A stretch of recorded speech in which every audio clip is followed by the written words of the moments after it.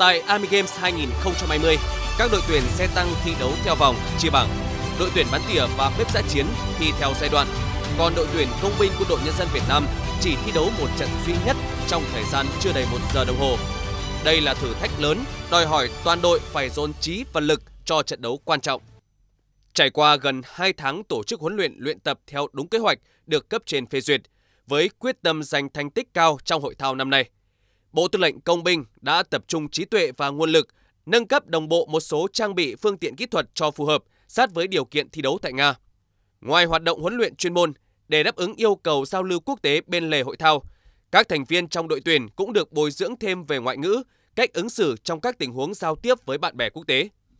Năm nay do ảnh hưởng của dịch COVID-19 nên so với năm ngoái, số lượng các nước tham gia cuộc thi lộ trình an toàn giảm từ 7 đội xuống còn 4 đội, gồm Nga, Uzbekistan, Belarus và Việt Nam.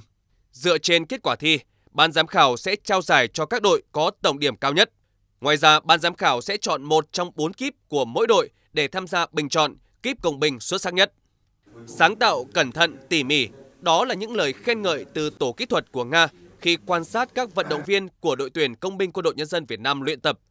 Khắc phục khó khăn về vũ khí không có trong biên chế quân đội nhân dân Việt Nam,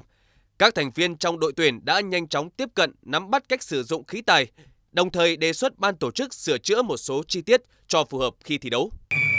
Tại cuộc thi lộ trình an toàn diễn ra ở thành phố Kastovo, Liên bang Nga, các đội tuyển sẽ phải thực hiện các nội dung tiểu đội công binh xung kích thực hiện đổ bộ từ trực thăng, vượt cầu treo, leo tường lưới, vượt mô hình nhà hai tầng, do phá mìn, vượt qua bãi vật cản nổ, tiểu đội bắc cầu cứng TMM 3M2, kíp xe phá rỡ vật cản IMR,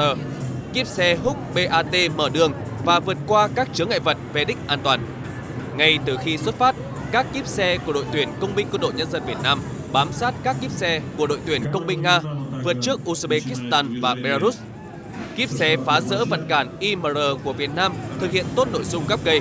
Tuy nhiên, đến nội dung san hào chống tăng và ủi đống lửa, do điều kiện thời tiết, các hào chống tăng ngập nước và khu vực xung quanh bị lầy lội, nên các vận động viên của đội tuyển công binh quân đội nhân dân Việt Nam rất cẩn trọng khi thực hiện phần thi này. Song do để mất nhiều thời gian nên đội của Uzbekistan đã có cơ hội vượt lên dẫn trước. Sau khi khắc phục tất cả những khó khăn về thời tiết cũng như kỹ thuật để thi đấu với quyết tâm cao nhất, đội tuyển công binh quân đội nhân dân Việt Nam đạt thành tích 46 phút, xếp sau đội tuyển công binh Nga và đội tuyển công binh Uzbekistan, xuất sắc giành huy chương đồng.